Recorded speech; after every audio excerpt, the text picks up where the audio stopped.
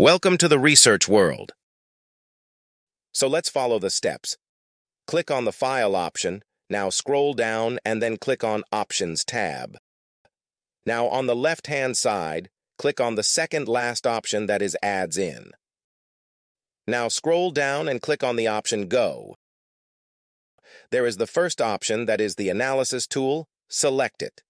Tick mark the second tool as well, that is Analysis Tool VBA, and then press OK. Now click on the Data tab. And here you can see that the Data Analysis tab is added in your Microsoft Excel.